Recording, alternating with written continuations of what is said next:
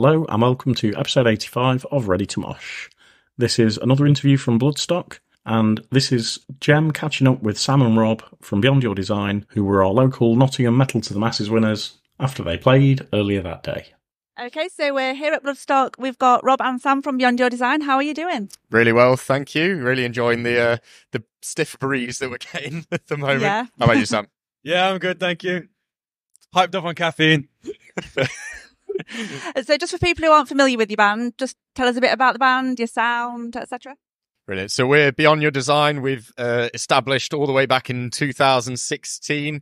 Um, we met originally as friends. Myself and Harry were the founding members um, at University of all places. We've gone through multiple lineup changes with um, ha- uh, Sam only just uh, joining the band really a couple of months ago. So bit of an upgrade, to be honest, for you, for us and you, I imagine. No, me. But, you know, I know you're happy to have me. but we've um, been around for quite a while, um, playing uh, similar music to Trivium, Darkest Hour, All That Remains, um, metalcore, kind of melodic death metal as well.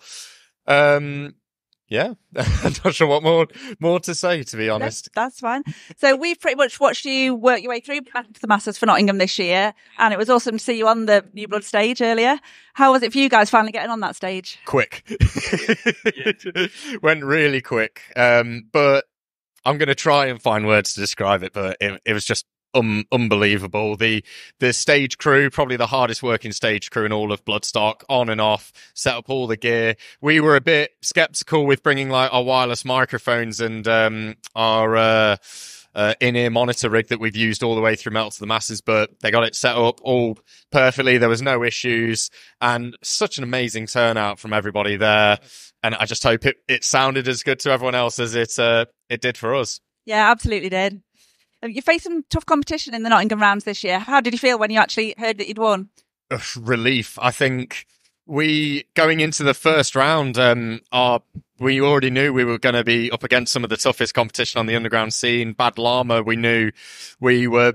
Uh, I I expected them to be one of the favourites, to be honest, and I think us being put in the same heat was really tough. You know, a lot of people told us that, but then playing against 13th Sign, Dead Demons, Buried by My Heartache, any one of those bands could have won it, in my opinion. As, I mean, Dead Demons on the night were absolutely insane. I really enjoyed them. You've played against 13th Sign twice Yeah. now Yeah. with um, Orbital Orbital alignment. Alignment. Yeah. So, yeah, it went better the second time, I suppose. Yeah, it was a bit Yeah, different. Yeah, they're good, so it's. I'm not surprised. Yeah. So I think to have played against them and, you know, uh, to have actually won it uh, was so relieving because I, th- I thought any of them could have won it by the end.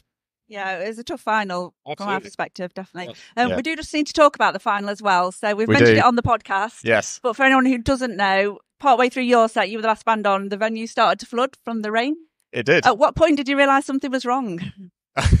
I think uh, when the sound cut, because um, our in ears went completely dead, and usually that means I've knocked my microphone on my guitar, and I was like, "Oh, what have I done? What's what's broken?" Then Harry Harry just goes, "There's there's a bit of a spillage around the side," and I was like, oh, "Alarms going off," and we went into the backstage area, and it was underwater, and it's like. That's a bit more than a spillage, and uh, I think it was when the venue was evacuated and everyone was just outside that I think we realised this is not uh this might not get started back up again, which is uh quite uh a shame really because I think I just wanted to finish the set, you know, and people had came from a long way away, paid good money to come see the show itself to see us play, and I was just more upset for them that we couldn't finish our set list. Um, but it all worked out in the end. Yeah, I guess it was probably quite bittersweet, wasn't it? You couldn't finish your set, but you'd done enough, obviously, to impress the judges. Yeah, we fi- we yeah. finished it today, and the the rain couldn't defeat us this Yeah. time. So So at least we've not got rain at the moment. Fingers crossed.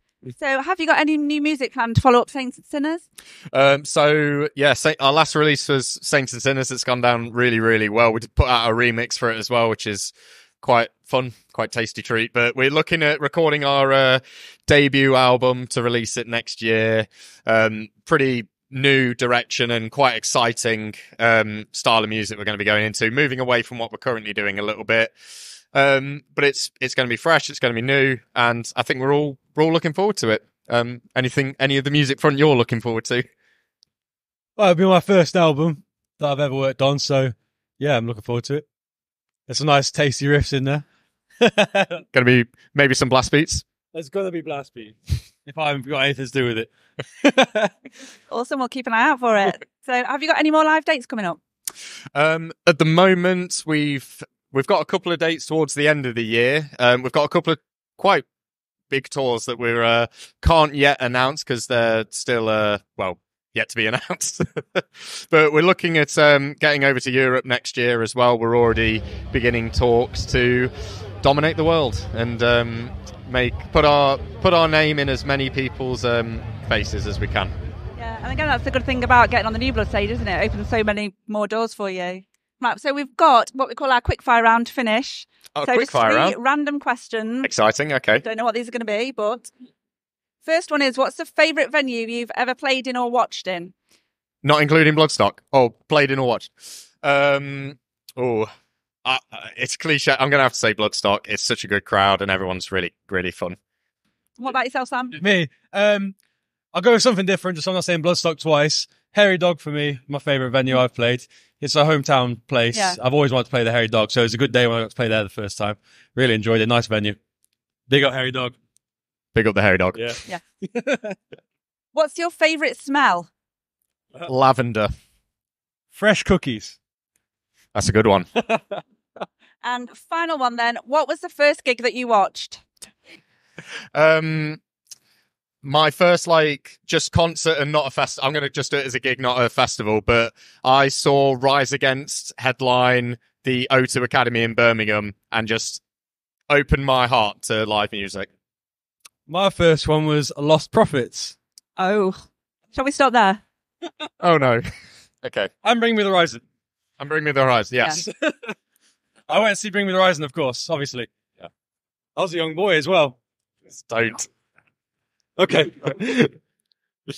Okay. Okay, on that note then, Yes. it's been a pleasure to chat with you and yeah, hope you enjoy what's left of the weekend. Brilliant. Thank you very much for your time. cheers. Really appreciate it.